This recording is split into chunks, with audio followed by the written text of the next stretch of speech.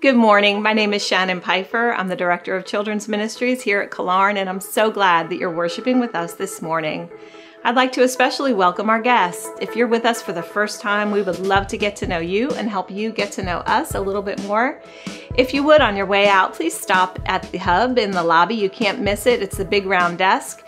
We would love to capture your visit and even give you a gift. Also at the Hub, you can find out all about our men's and women's Bible studies that are starting up now. It is not too late. We would love to have you join us at one of our studies. They meet in the morning and the evening, and our Wednesday morning Bible study has free childcare for you moms. We would love to have you join us at one of our men's or women's Bible studies.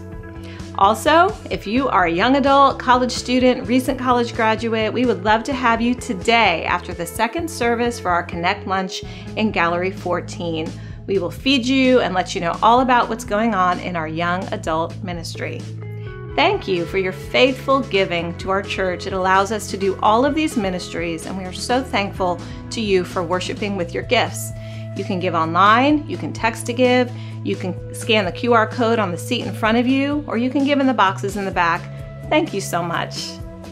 Here over the summer in Four Oaks Kids, we have had the best time in Summer Camp Sundays. Our kids have been camping out in the youth room, learning all about God's Word, hearing from missionaries, and learning about missions around the world.